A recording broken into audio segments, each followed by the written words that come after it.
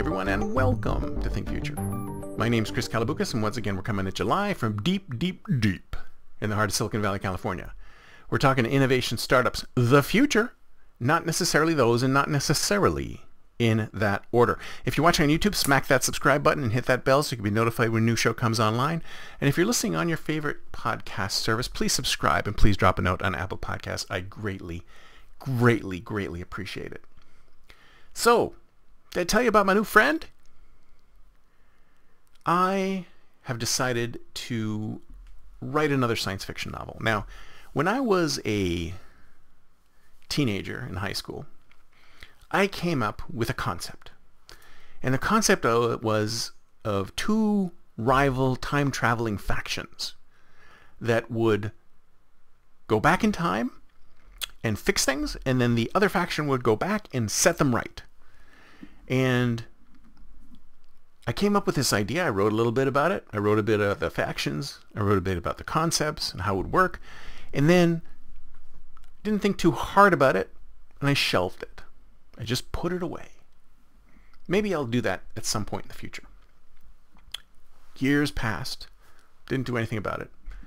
Then I happened to be at a used book sale, and I picked up an old pulpy novel, and I forget the name of the novel. Agents of Terra, I think it was called. And it was like a 50s novel, and it was like pulp sci-fi. Really fun. I'm reading this thing. And it's about time-traveling factions, very similar to what I was uh, creating when I was in high school.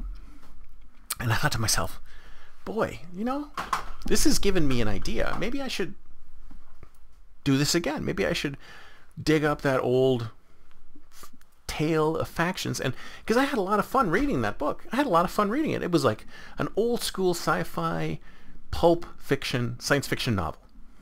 And I thought, you know what? Maybe I can bring that back. Maybe I can bring that back. But you know what? I thought I have I don't have a lot of time. I'm really really strapped for time now because you know there's work and, and school and and things. There's, I've got I have very little time to to to work on a novel. But then here's ChatGPT. And I thought, oh, you know what? I wrote a book with ChatGPT. I wrote a nonfiction book, Nine Rules for the Future, with ChatGPT, and that's out on Amazon. Or you can read it on the website, ninerulesbook.com, totally free. And I thought to myself, well, maybe it can help me write a science fiction novel. So I went into ChatGPT website and they just released ChatGPT 4. I don't know, it's probably all over the news about how awesome ChatGPT 4 is. So I thought to myself, let me, let me try this. Let me play around with it a little bit. Let me see what I can do with this. So I went in and I started a new chat saying, hey, I am writing a novel and I gave it the parameters of the novel. Two factions, go back in time, change, one changes it, one wants to change it back, moral dilemmas, blah, blah, blah. And I thought I want, I want to write it in the 50s sci-fi pulp style. Something really fun and not too, not much of a deep think, right? So I started riffing with ChatGPT on this. And I started riffing with the main characters and the, the you know, all these different things. Then I created a whole nother faction, a whole secret mystical faction and this and that. And I was just going on and on and on and having fun talking to this thing and just building out, doing world building of this world of the two time-traveling factions and, and humankind and came up with all sorts of different concepts. And at one point I said, okay, they're going to go into the past and do X give me names of some historical events that are not so well known that they could have gone back to. And it gave me a list of those. And then we were talking about going back in the time to find a, an artifact to help them travel through time. And we found more places. And it was able to tell me all about these locations, what people wore, what people what people were like, what the what the cities were like. It gave me all this great information, all this backstory. And then I was trying to figure out, okay, should I go with a multiple worlds timeline or a single world timeline? And then we talked about the the differences between the multiverse and the single verse. And I thought, well, we really want to have a single verse because if you have a multiverse and you go back in time, you just change somebody else's universe. You really want to change your own. I mean, that's the whole point, right? And it told me about something called the Novikov conjecture, which says that if you go back in time and change something, something else will occur or something will prevent that change from happening. So the timeline remains correct. So we came up with this device that would allow you to change the timeline within a, a space and time. So that's what one of the factions used to go back and change history.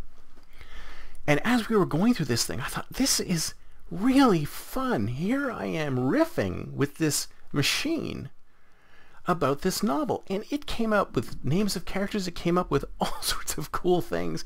There was one point where I wanted to come up with the name of an AI character that would interface to the system that had all of the information which pertained to the original timeline. So if you think about it, one of the factions would have to know what the original timeline was from the beginning to the end so that it could recorrect what the other faction did. So we came up with the name of the faction. Uh, sorry, we came up with the name of the system. We came up with the name of the device. And I said, well, we need a wisecracking AI that's, that's the interface for this device. And it came up with Zeno, which is a nice, short, pithy, and it was a philosopher who wrote some treatises on time. I didn't even know that. So it knows so much more than I do. And here I am riffing with ChatGPT, and I'm coming up with all this great material for the book. And I come down to the dinner table, and I'm talking to my wife about it, and I'm I'm I'm like really jazzed about this. I'm like I can't wait to go back and work with it more to get more information about the book and expand on the book. And she says, "Oh, it sounds like you found a new friend." I thought to myself, "Huh. I guess kind of. Here's a new friend who is extremely helpful, will do whatever I ask of it to do, and has an encyclopedic knowledge of everything. For example, one of the locations in the past that we were going to travel to was the city of Ur in the year 2403 BC or something like that. And I said, so tell me about the city. What would it be like? How many people would live there? What would be what would they dress? What was it consisting of? What language did they speak? All of this stuff, it came out just bum, bum, bum, bum, bum. I even asked can you write a scene in which one of the characters over is standing on a balcony and overlooking the city? Describe the city. And it even wrote that. It, it wrote the description of the city. And I thought, wow, this is really giving me a sense for what it was like. So all those writers out there who are afraid of these tools taking away your creativity, removing your creativity, replacing you, being able to generate novels, just spitting them out without that creative spark of a human being, I wouldn't worry about it so much because I think that the thing that is I'm going to generate in the end this series of adventures of these time-traveling factions. The original idea was mine, but I worked with ChatGPT almost as an editor to help me flesh out the concepts and do research on particular things within the book.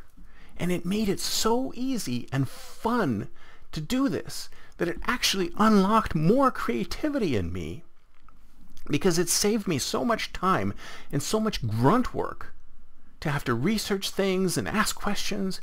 Like for example, if we decided on a single timeline, how could they figure it out? How does it, how does the time travel work? If time travel, I mean, I asked, if time travel existed, how could it exist? And I got five really good explanations, which of course were all theoretical, and I picked one. And then I said, if there was some type of machine that could tell what the original timeline was, what would that be like? And he gave me five different things that it could be. Theoretical, of course. And I combined a couple of them, or three or four of them, to come up with the device that we actually ended up with. So as a tool to expand upon your creativity and make it easier and faster to develop your work, bar none. And it's a great editing buddy at the same time. I had a lot of fun working with it, and I can't wait to finish up this call or finish up this podcast so I can go back to talking to it again. Got a lot more to do on my novel, and hopefully you guys will want to read it when it comes out. That's it for me for today. See you next time, and until then, don't forget to think future.